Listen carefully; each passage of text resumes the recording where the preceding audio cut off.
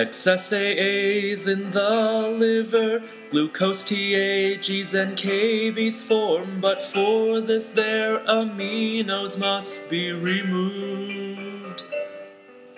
As ammonia, these are released, become charged when they H receive ammoniums, then used to make urea. Make urea, make urea, make urea, make urea.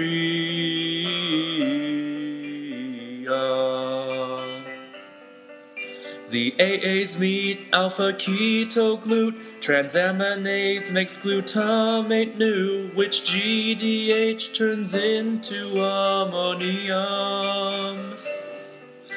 Transaminase and OAA meet glutamate to make aspartate, that then meets citrulline to make urea. Make urea, make urea, make urea, make urea.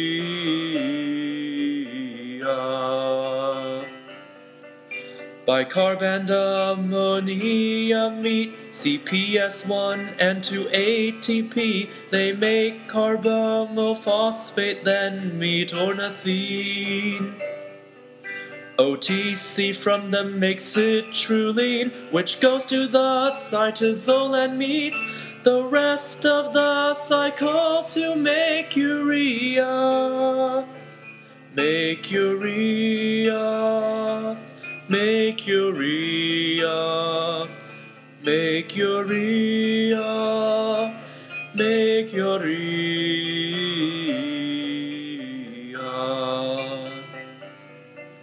Argininosuccinate synthase with ATP makes argsuccinate. Argininosuccinate lyase makes arginine. And fumarate, which turns to malate, which then goes back to other pathways, while arginine goes on to make urea. Make urea. Make urea, make urea, make urea.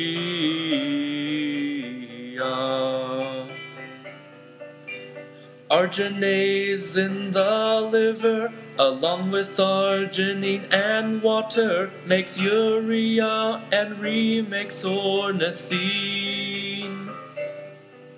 Eat lots of protein or fast a ton, or make that up CPS1, and then with ammonia you'll make urea.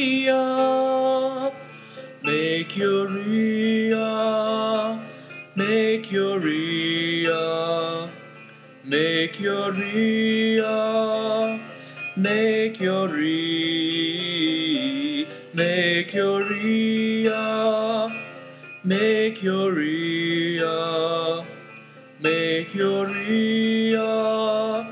Make urea.